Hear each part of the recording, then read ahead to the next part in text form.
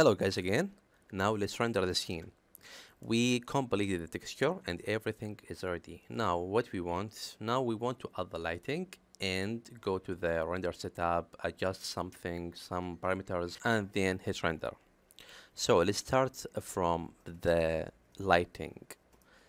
I want a light for the scene so I have uh, two way either I go from create and then go to lighting but before of that you need to specify the the render engine. So you should go to the render setup and then after that go to the renderer and hit corona. If you if you don't do that you may find the scan line in the renderer. So you should change it to corona. After that when you do that you can create the lights of corona. So go to the create and after that to the light section and click corona light. Or you can find it here in the corona toolbar. This one corona lights. I prefer to choose it from here. It's very fast. And create one. So first of all i need to create rectangular light so I need to change it from here the shape to rectangle. After that I will create it in front view. So go to the front view and create one like this.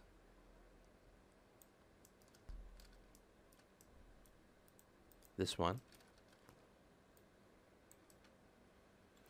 I will put this light here.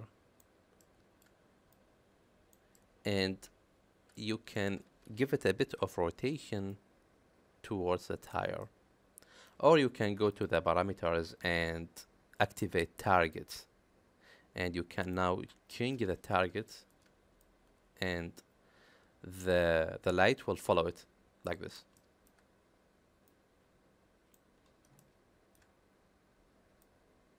That's cool after that, I will click interactive render to see the effect of this light, but I need to create a camera. So just choose the nice uh, position of the camera, the right one. And before of that, go to the render setup and adjust the dimension of the image. So in the output size, choose HD TV and choose uh, the full HD this choice right here or you can add any number you want but you need to go to the custom if you want any different number. After that press shift plus F to active the the safe frame. After that you can click this icon right here to create a camera from this uh, view angle. Just click it and a corona camera is created here so now let's hit the interactive render. Start interactive render in Corona VFB. Now I got this result, so I need to adjust the light a little bit. The angle is looks nice, but it is uh, is very high intensity and the light has a bit of yellow color, warm color, so I need to change it. So hit P from the keyboard to to move and so you can click the light and adjust the light go to the modify to the parameters of the light and change the color to something like white.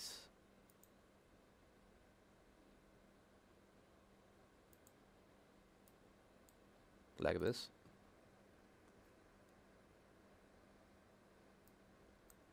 And then take the intensity to 25 or maybe 20 okay that's cool. I will stop the render and I will add another light. So I will duplicate this one just choose it and activate uh, select and move. And click shift and drag to whatever direction you want. And then we have a new one pointed to the tire from the object click copy and then OK. Now you can change the color of this of this one. So this light will uh, give emit light from this direction to the tire. And I need it give me a blue color. So just open the direct input color and choose it to something bluish like this. And take the intensity towards 10 or 15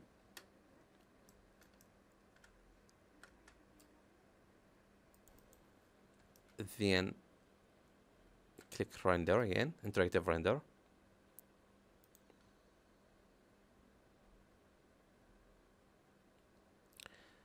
So to reduce the intensity of the light you can manipulate it from this uh, this number or you can adjust the dimension and make them smaller.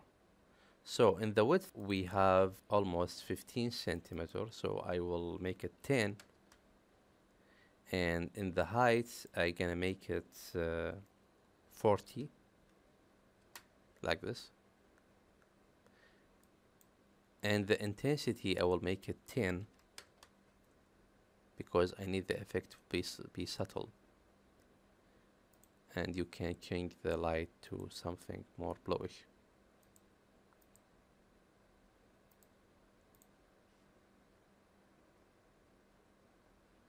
No that's cool. Okay that's cool. I will add another light from the bag. I will choose this one and hit shift and drag it and keep it copy then hit ok. And we have one. We gonna give it a bit of height.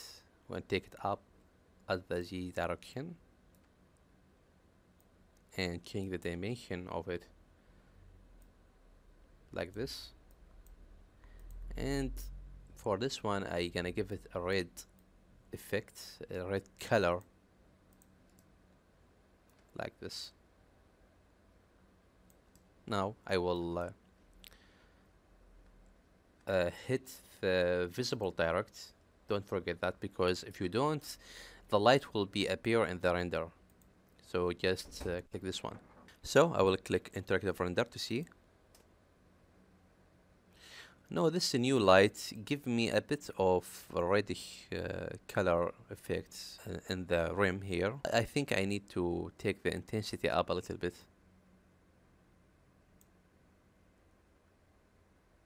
maybe 25 30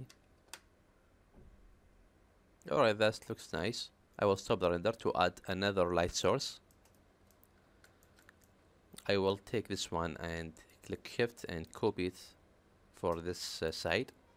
Copy and this will be a little bit uh, lower in here and this will be a blue light. Choose whatever color you want. You want to add white blue whatever thing. But I like the object have a touch of light red with blue. So I gonna put it right here and choose this color and OK and I will press C from the keyboard to look at the object from the eye of the camera. And that's cool. Hit interactive render to see the result. By the way you can open the scene explorer if you want to click whatever light you want to adjust from the list here. After that hit interactive render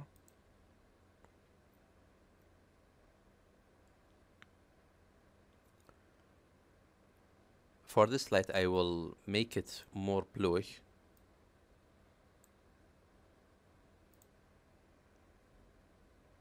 Now as you see I have very nice effects.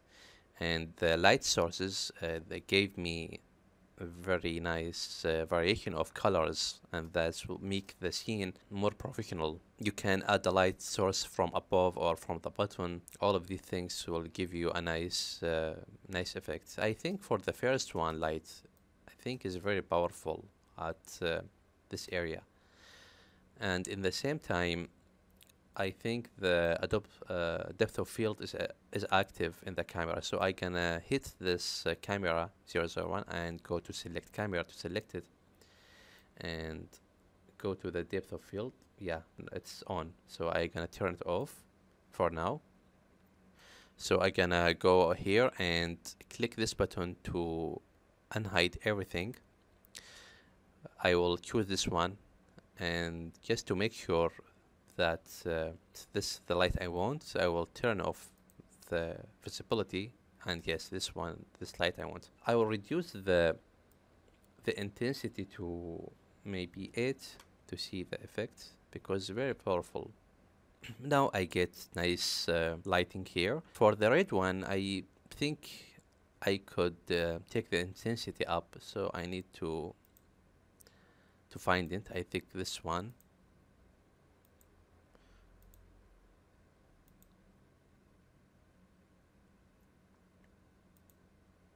yeah this one. I gonna change the name?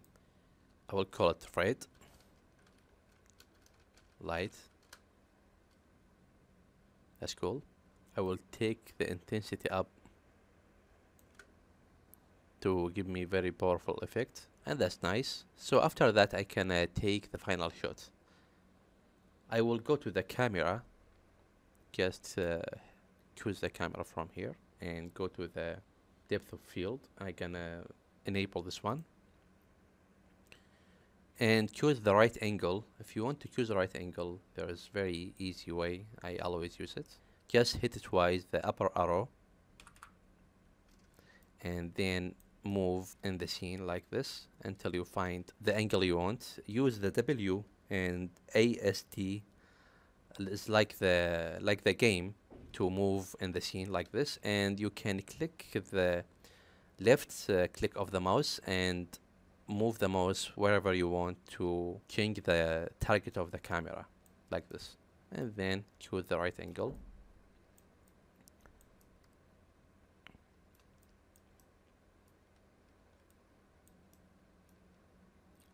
Like this. After you enabling the depth of field make sure to choose very small amount uh, number in the f-stop like 1 or 2 or 3 to make the depth of field very strong. After that, if you want to focus uh, on uh, any area you want uh, from the object, just go to this button right here and click it and activate it. And then hit right click to the object that you want to focus. And after that choose this choice set focus to this point and the camera will focus this point as you see that's cool now the focus is very nice.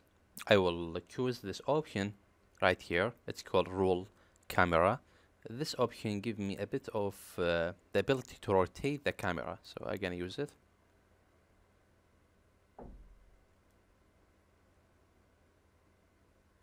Like this.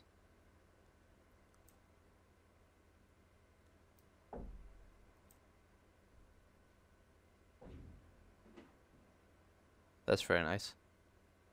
And I will choose this point focus, right click, set focus to this point. And don't forget to activate the icon here. After you, after you choose the right angle, now you can now you can make the final render. And I will stop uh, the render. And I will go to the setting, the render setting, to make sure that everything is okay. Alright, now the output size is full HD. In the scene, you need to go to denoising and choose the Corona high quality. And in the performance, uh, make the global illumination active and you can choose uh, path tracing and UHD cache. Path tracing give me the high render quality and UHD cache is uh, not like uh, is not as powerful like path tracing so I will choose this one. After that I will hit render to make the final shot.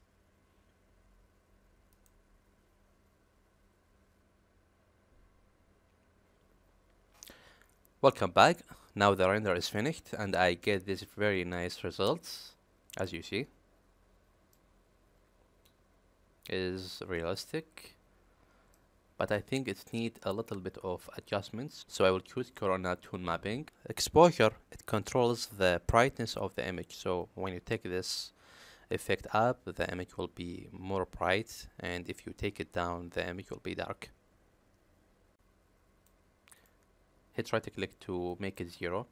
For high highlight compress this reduce the highlight the burn area like here and uh, this one right here but I will keep it one for now. White balance affect the overall image. If you take this uh, number up that will give you a warm effect and if you take it down that will give you cold effect. For contrast I will take the contrast and change it for 2 and for filmic shadow I will turn this for uh, almost maybe 0.5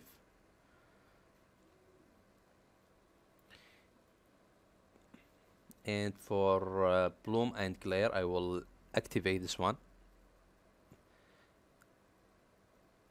And as you see bloom and glare gave me this uh, this effect right here these streaks so I gonna take the glare intensity to 3 to make this stronger.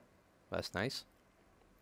Now the render is fine and the image quite beautiful. So I'm gonna save it hit the save button and choose the format you want from here PNG or JPEG or so I'm going to say it uh, like JPEG and give it a name.